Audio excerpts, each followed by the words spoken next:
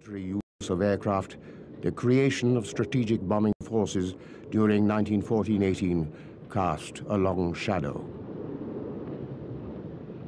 Military strategists believed that the bomber could win wars on its own by striking at the heart of an enemy nation.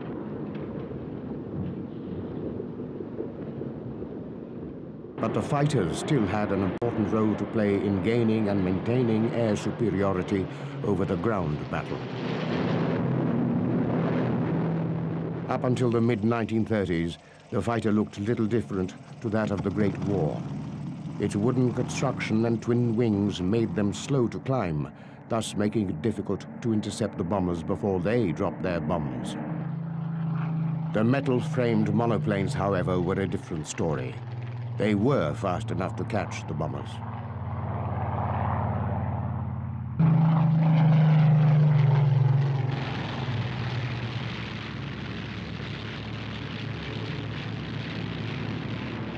They were helped by the introduction of radar, which meant that the bombers could be tracked well before they approached their targets.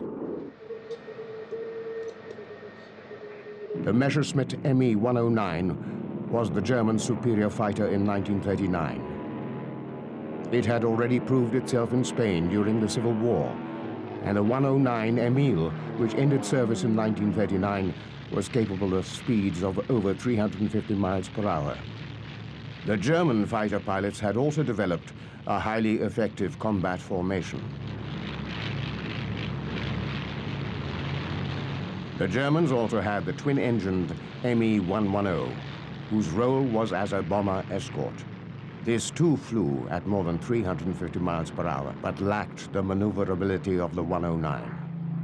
During the invasion of Poland and the Low Countries, the Luftwaffe achieved air supremacy by destroying opposing air forces on the ground.